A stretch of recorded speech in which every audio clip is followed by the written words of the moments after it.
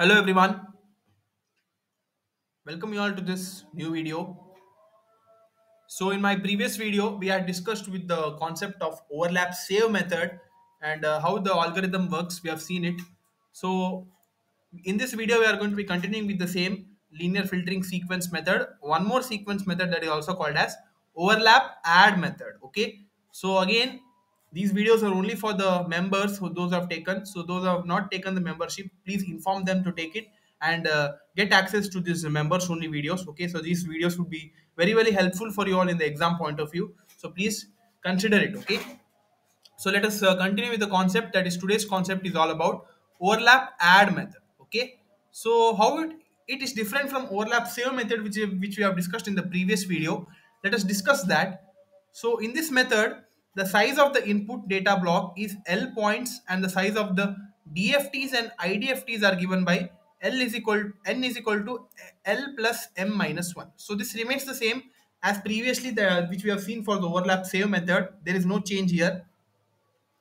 To each data block, we append m minus 1 zeros and compute the n point DFTs and the data blocks may be represented as given sequences here. That is x1 of n, x2 of n, x3 of n, they have given it here, subsequences and how they are different from overlap save method that we are going to be comparing here. Okay. So in case of overlap save method, we used to be appending the zeros only for the first sequence at the beginning, right? At the beginning, in order to equate the sequence, we used to be doing it.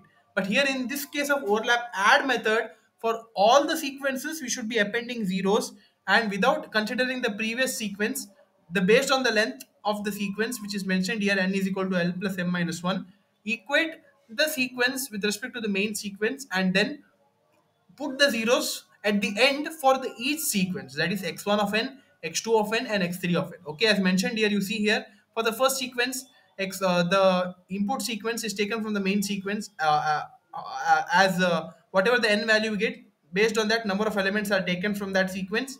That is x x naught x1 up to x of l minus 1 okay. Followed by zeros number of zeros. Okay in order to equate the sequence how many zeros are required? So those things you need to be putting it here for each sequence. Okay x2 of n and x3 of n and so on. Okay.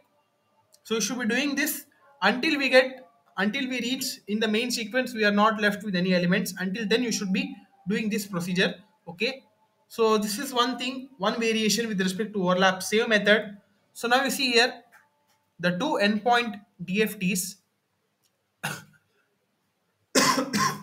are multiplied together to form y of mk ym of k is equal to h of k x m of k where k is equal to 0 to n minus 1 so the two n point dfts are multiplied in order to get this sequence okay? So now with respect to idft which from of this previous sequence that is the idft yields the data blocks of length n that are free from aliasing since the size of the dfts as well as idfts is given by n is equal to l plus m minus 1 okay so with respect to that, uh, with respect to aliasing, they are free. So that's why we cannot be appending any, uh, we cannot be deleting or removing any data when, when we get the final sequence after the convolution part. Okay. So after this, the convolution part remains the same. That is y, y1 of n is equal to x1 of n into h of n.